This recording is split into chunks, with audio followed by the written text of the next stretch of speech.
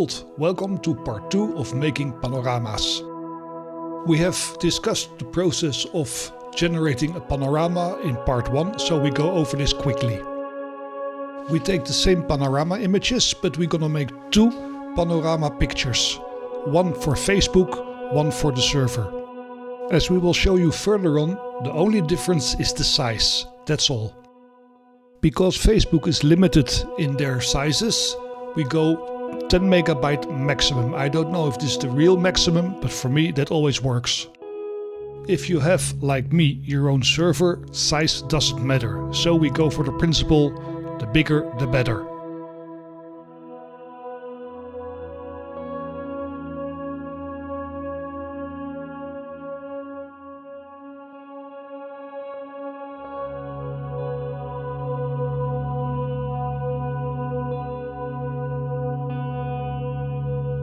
Because I don't like nasty edges on my images, I always crop the zenith. You don't need to crop the nadir.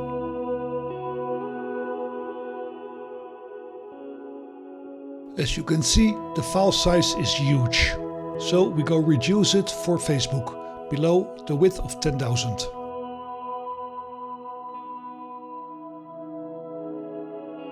So we give it a name and we render the image.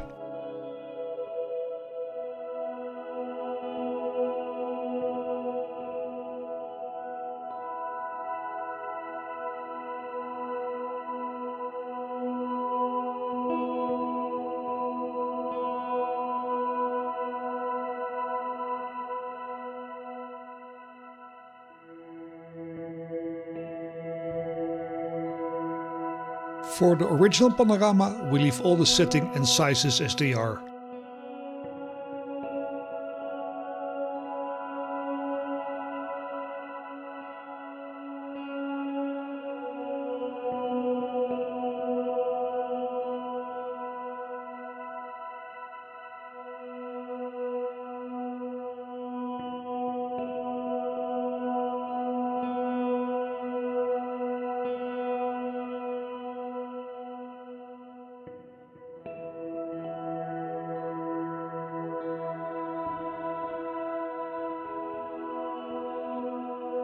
Now you can see our Facebook image is 10 megabytes and our original image is 42 megabytes. Of course it's JPEG, that means it's compressed.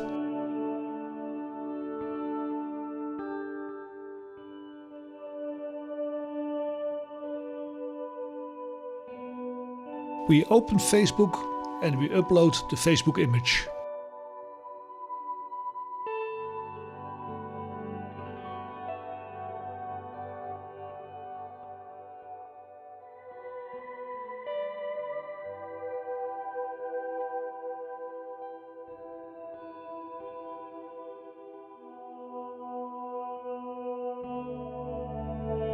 And there is your panorama. Please note that when you're watching in a mobile device, the gyroscope is actually working, but not on the normal website.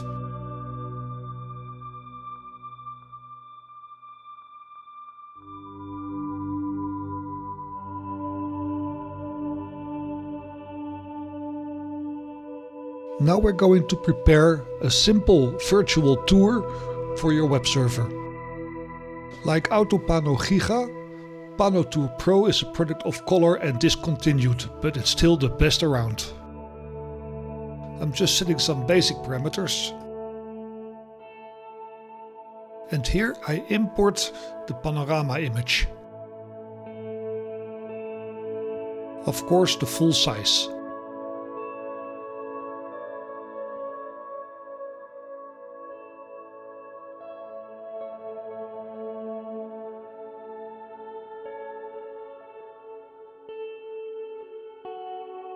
Now I set up the home directory for the local host.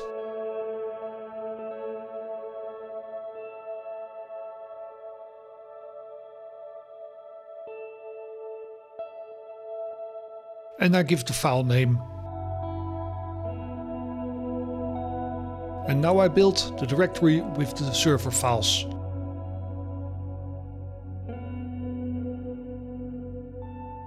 And this is the result on the local host.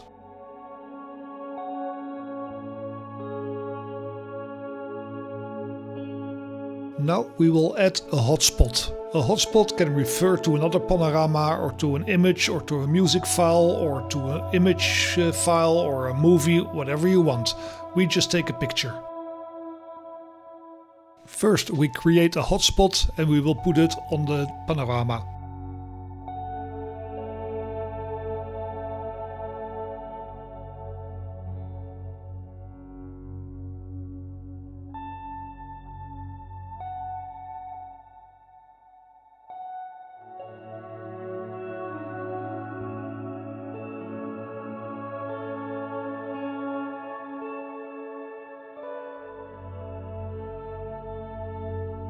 Then we change the overlay on the panorama.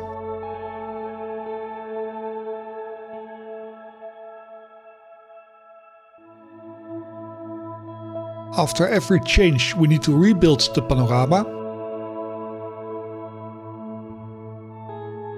And we can view it again in the local host. And there's our hotspot.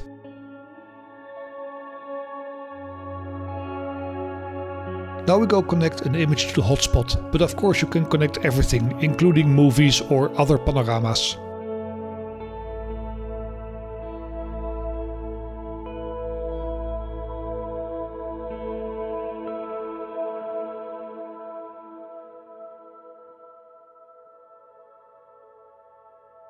Now we need to select the image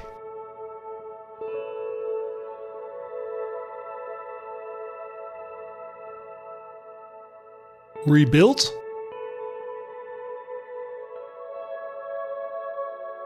And there it is.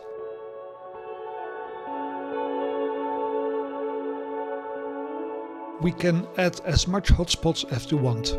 I will put a link below to one of my better virtual tours.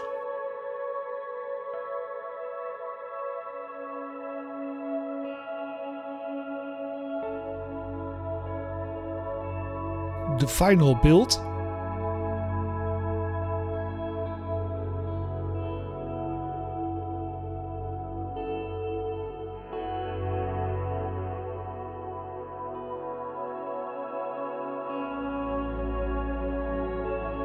And there is our repository which we'll have to copy to the server.